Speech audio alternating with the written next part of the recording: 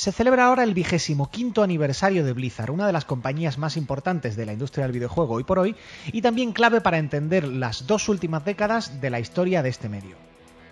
En este vídeo vamos a repasar brevemente cuáles son las claves que han convertido Blizzard en el gigante que es hoy por hoy. Blizzard se ha caracterizado a lo largo de su historia por la gran atención que ha prestado al juego multijugador. Ahora nos parece algo que damos por sabido, casi por sentado, que cualquier juego tiene que traer un modo multijugador potente, pero cuando Blizzard empezó su andadura en los 90 era todavía un terreno por explorar. No se trataba solo de una cuestión tecnológica, que también. Había que inventar un nuevo ritmo de partida, crear nuevas mecánicas de juego, depurar al máximo el equilibrio entre todos los elementos. Si unimos esto a la capacidad de Blizzard para sentar las bases de géneros en formación, entenderemos mejor la gran importancia de esta compañía en la historia del videojuego y su actual peso dentro de la industria. Tomemos el caso de Hearthstone, por ejemplo. El éxito de su juego de cartas pilló por sorpresa incluso a la propia Blizzard. La compañía ha contado muchas veces que la primera versión del juego fue el proyecto paralelo de un pequeño grupo de desarrolladores dentro del estudio. Hace unos años habría parecido una completa locura meterse en un sector completamente dominado por Magic de Wizards of the Coast, y ni siquiera Magic había logrado dar el salto al videojuego con un éxito masivo, pese a algún que otro título notable, pero que no había logrado tampoco establecerse como un juego multijugador tan importante como lo que es Hearthstone ahora. Blizzard pues cogió un género ya existente, lo actualizó y lo reformó para adaptarlo a las plataformas de juego actuales y pulirlo al máximo para el multijugador online. Hoy Hearthstone no solo es un juego de éxito, sino uno de los esports más seguidos, de lo que antes parecía un terreno imposible, ahora surgen una legión de imitadores. Las razones por las que Hearthstone se ha popularizado no son fáciles de analizar en pocas líneas. Para empezar, entiende mejor que Magic los hábitos de consumo del videojuego. Las reglas básicas son muy sencillas, por lo que se aprende a jugar en cuestión de minutos. El ritmo es elevadísimo y las partidas duran mucho menos que una de Magic, lo cual no solo pica más al jugador, que siempre piensa que le da tiempo para una partida más, sino que lo convierte en un espectáculo excelente como deporte electrónico. Además, Blizzard revisa constantemente el metajuego para asegurar el equilibrio y evitar que aparezcan estrategias ganadoras claras, lo cual obliga a su vez a la comunidad a estar siempre atenta al juego. Más razones. Su sistema free to play está razonablemente bien equilibrado para que haya un sitio para jugadores de todo perfil, su astuto sistema de ranked permite que cada jugador encuentre un espacio en el que ganar partidas de vez en cuando, sin eliminar del todo el acicate de la derrota que te empuja a querer mejorar. El juego aprovecha un lore merecidamente conocido y querido como es el de Warcraft.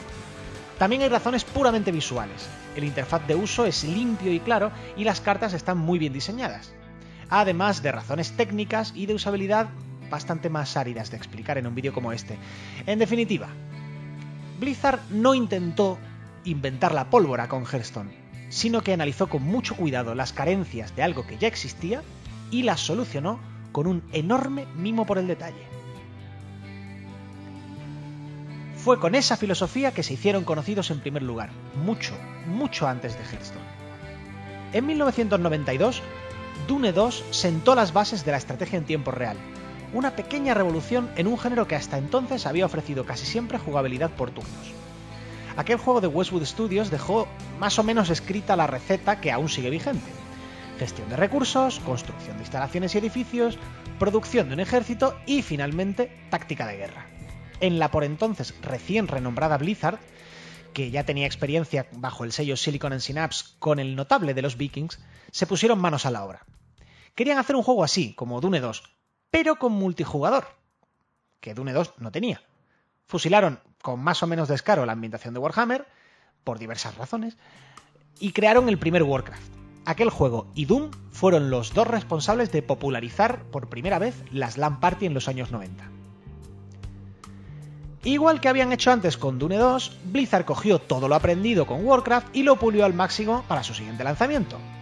Warcraft 2 es uno de los dos o tres, como mucho, juegos de estrategia más influyentes de toda la historia. Una vez más, no solo resultó clave el sentido de la oportunidad, el, hecho de lanzar el juego cuando tanto la tecnología como los hábitos del consumidor habían evolucionado lo bastante como para que pudiera triunfar, sino también entender la importancia de todo lo que rodea al hecho de jugar. Al juego como hecho social, por así decir. La plataforma de juego online Battle.net fue pionera en, su género, en el hecho de crear un lugar en el que la gente se reúne para jugar.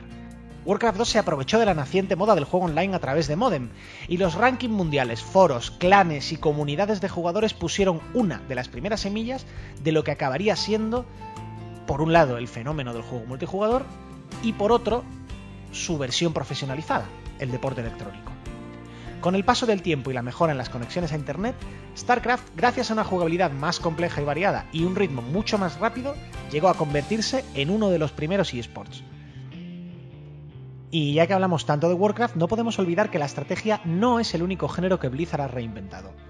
World of Warcraft fue una revolución que sacudió la industria del videojuego, y pese a que cada cierto tiempo se dice que está en decadencia, ahí sigue con millones de usuarios activos. Blizzard no inventó los juegos de rol masivos, ni muchísimo menos. Ahí estaba desde antes Ultima Online, que de hecho es un juego mucho más profundo y complejo. Y también EverQuest, que se adelantó en el uso de los 3D para los juegos de rol masivos online. Pero de nuevo Blizzard supo leer las corrientes con acierto para convertir un género de nicho en un fenómeno de masas. Para empezar está, de nuevo, el sentido de la oportunidad. World of Warcraft llegó en un momento en el que los ordenadores y la tecnología estaban mejor preparados para mover un juego en 3D que cuando salió EverQuest 5 años atrás. Además se adelantó a su época en la importancia que dio al aspecto social del juego, al establecimiento de clanes y comunidades de jugadores, estableció una curva de dificultad y una progresión de personaje muchísimo mejor ajustada que sus predecesores, y en definitiva ofreció una jugabilidad mucho más accesible y mucho más adictiva. Ultima Online era y es un juego fascinante y tremendamente profundo, pero también es muy áspero y muy poco amigable con nuevos jugadores. World of Warcraft es divertido y frenético desde el primer minuto hasta el último. No nos podemos dejar en el tintero Diablo, otro juego de un género más viejo que el hilo negro. No deja de ser una especie de gauntlet venido a más. Blizzard lo convirtió en un fenómeno que se ha mantenido más o menos constante desde el lanzamiento del primer juego. Gracias a una larga progresión de personajes y a un complejo sistema de inventario, siempre hay un tesoro más que conseguir. Y si pensamos que Warcraft es un juego menor en la trayectoria de Blizzard, mejor que lo repensemos. El deporte electrónico por excelencia del momento, League of Legends, surge de un mod de Warcraft 3. Blizzard cumple ahora 25 años en los que ha pasado de ser un estudio de culto a una de las compañías más importantes de la industria. Y eso en géneros supuestamente de nicho como la estrategia y el rol. Ahora Blizzard se enfrenta a un reto, dar el salto del terreno que ya conocen a un género nuevo para ellos, como es el de los disparos en primera persona, que además tiene ya reyes muy bien establecidos como Call of Duty y Counter-Strike. ¿Volverán a lograr con Overwatch reinventar todo un género? Lo descubrirás pronto, aquí, en FS Gamer. ¡Hasta la próxima!